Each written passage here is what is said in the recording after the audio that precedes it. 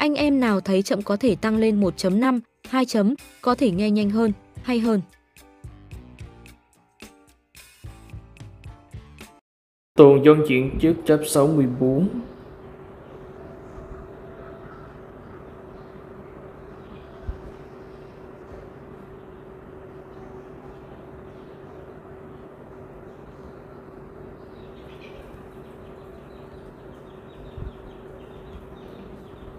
Có phải vừa rồi có động tĩnh gì đó không? Có à, sao tôi không nghe thấy gì nhỉ?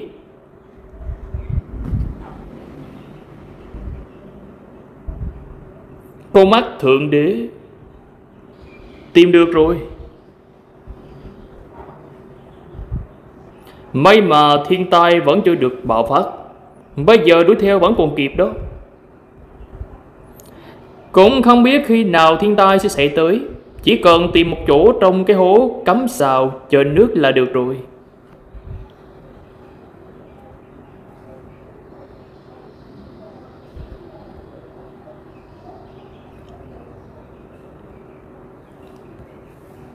Sư phụ, Thầy xác định thiên tai sẽ xuất hiện ở đây sao? Lúc trước, Ở nơi đây, Đã từng có một vài trận chiến đám chú Sẽ không nhầm lẫn chính là ở đây. Tên nhi Cũng là công vì cái thằng nhóc đó Mà đều đều lội suối đi xe như vậy. Nếu ta báo con bỏ cuộc đi Là người có chức nghiệp tới lỡ cấp 19 Là cực hạn của cậu ta Còn cần gì phải cưỡng cầu thế? Sư phụ, con chỉ có một người em trai như vậy Cô không thể để nó từ bỏ Mơ ước bản thân của mình được. Không phải nói tên Long đế quốc đã mất đi Một tên lỡ cấp hồn kim rồi à? Nghe nói người đó rất siêu. Nếu em trai cũng có thể giống người đó Nó không chừng sau này sẽ có thể trở thành tinh anh trẻ tuổi của Mỹ kỳ đến đế quốc chúng ta. Tớ lỡ cấp hồn kim. Chẳng lẽ đang nói về mình à? Tin nhi Tên lỡ cấp hồn kim kia, không phải ai cũng có thể đạt được lịch sử của người từ xưa tới nay. Cũng chỉ có một.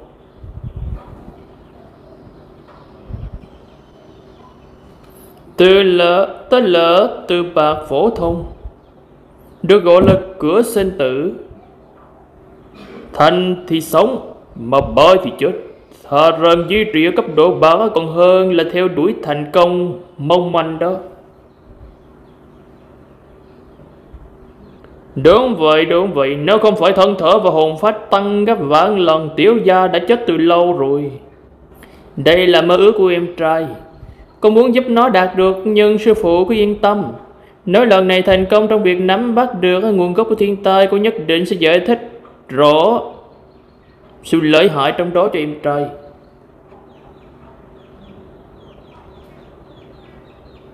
Được, sư phụ chỉ giúp cô nắm bắt nguồn gốc thiên ta một lần này thôi, không có lần sau đâu. Với cái thổi sát và hồn phách của em trai cô muốn thành tới lỡ cấp hồn kim đâu có giữa như vậy. Dù sao thì nơi đây cũng không phải địa bàn của chúng ta. Vẫn nên tốc chiến tốc thắng tốt hơn. Nguồn gốc thiên tai này vẫn chưa trưởng thành để ta kích động đi.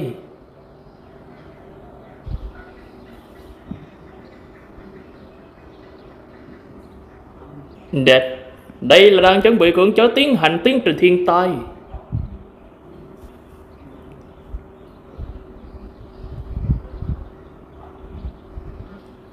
Nguồn gốc thiên tai sắp hình thành rồi. Phu quý hiểm trung cầu, tiến hạ thủ vi cường. Phó hiệu trưởng đã phát hiện ra những biến động ma pháp gần với cấp độ của cấm thuật ở ngôi hiện Mang Sơn thông báo cho sở công an thành phố Hàng Vân các giáo viên học sinh đóng quân ở biên giới Mang Sơn rằng thiên tai sắp xảy ra tất cả nhân viên đang ở biên giới sơ tán ngay lập tức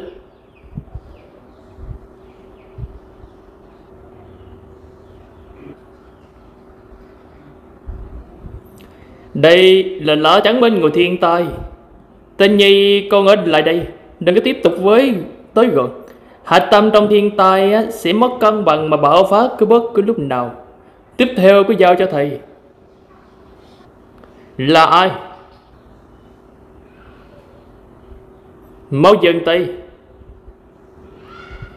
Mình hoàn toàn không cảm nhận được khí tức của người này. Ông điên rồi. Nếu ông cứ gây chiến như vậy, Sẽ có thể kích động nguồn gốc của thiên tai đó.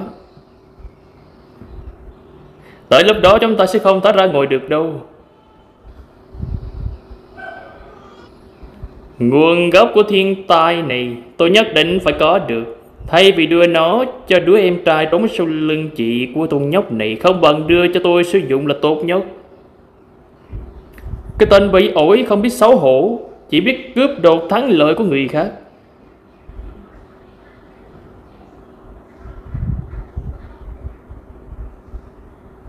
Ai cướp đoạt thắng lợi của mấy người? Tôi đã đợi ở đây cả đêm rồi. Là hai người làm hỏng có hạch của tôi. Được rồi, không chơi với các người nữa. Dương Tây ốm.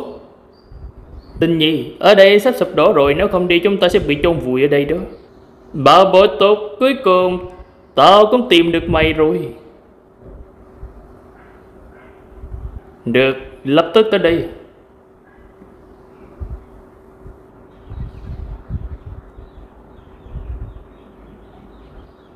Địch, đánh lén. Cô mắt thượng đế.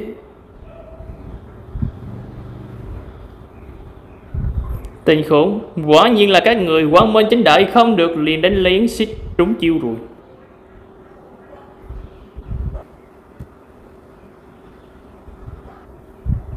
Không hay rồi. Đoạn vừa rồi đánh trúng nguồn gốc thiên tai dẫn tới bạo phát. Cái mạng nhỏ của mình nó chẳng phải xong rồi sao?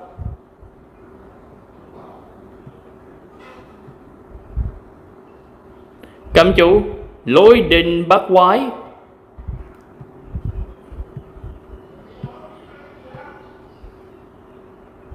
Cẩn thận.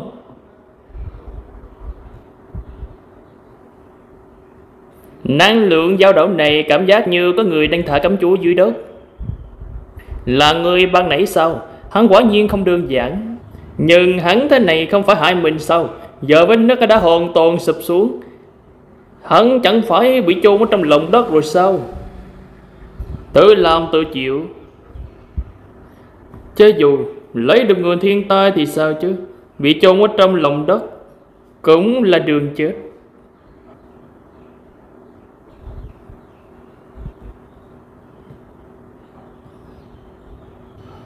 Cuối cùng cũng lấy được. Chuyện gì thế.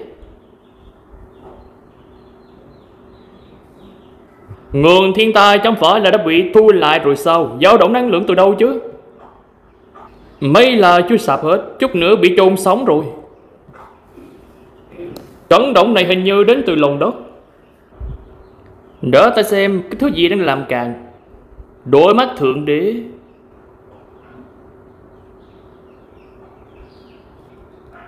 Sinh cơ mạnh mẽ quá, Đây là nguồn thiên tai. Không, Là một nguồn thiên tai mạnh mẽ hơn. Sóng năng lượng sắp sinh thành bộc phát. Sư phụ, Đó là Đây là viên châu nguồn thiên tai thứ hai Đúng là cho ngáp phải rùi Nguồn thiên tai lần này á, Còn là trứng hai lòng đỏ đó. Nếu ông trời đã đưa thần tích đến trước mặt ta, Vậy ta chỉ có thể lỡ phép nhận lấy thôi.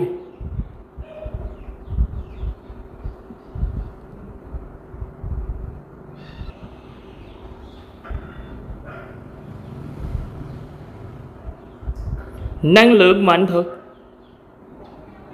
Ừ, bảo bối à? Ta đến đi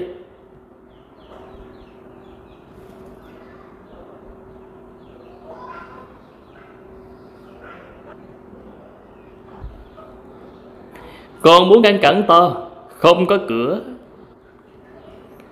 Tân gấp vạn lùng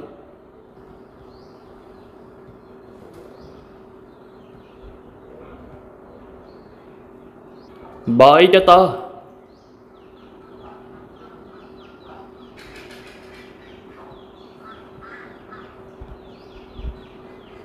Tiểu gia ta tốt xấu gì cũng là một ông bố bỉm sữa. Vẫn chỉ u được. Cấm chú chữa lành. Thu lại cho ta.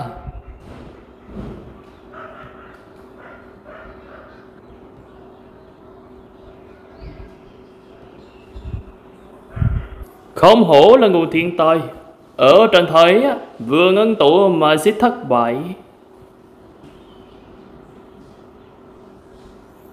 Có lẽ là Mình là người đầu tiên bắt lấy nguồn thiên tai khi mới ngưng tụ nhỉ?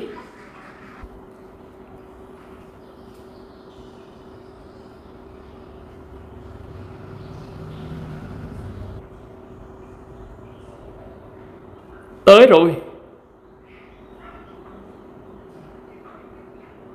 Là ngươi Vậy mà ngươi chưa chết.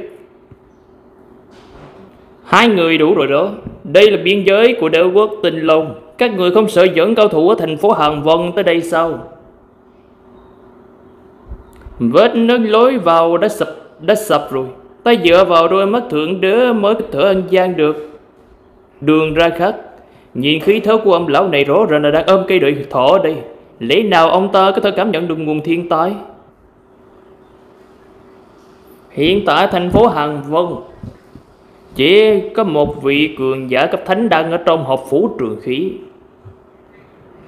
Không nói đến việc hắn có ra ngồi không, Nhưng cho dù hắn ở đây cũng chỉ là mới cảnh giới thánh, Không tính là gì so với lão phu.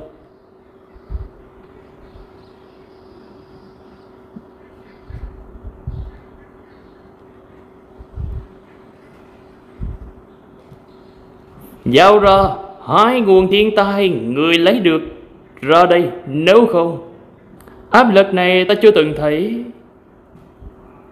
Đối phó với tên lý điên ở cảnh giới trí tôn điên phong còn khiến ta thập tử nhất sinh, huống gì là cao thủ cảnh giới thánh trước mặt chứ? May mà ta có chuẩn bị.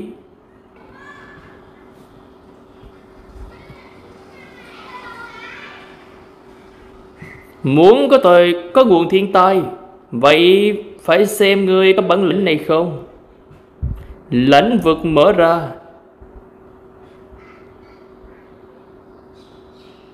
Ma pháp hở ám ảnh lợi hại quá. Khí tức của hắn biến mất rồi. Sao thấy được? Hắn rốt cuộc là thần thánh phương nào? Vậy mà cái thợ trốn đi trước mặt của sư phụ.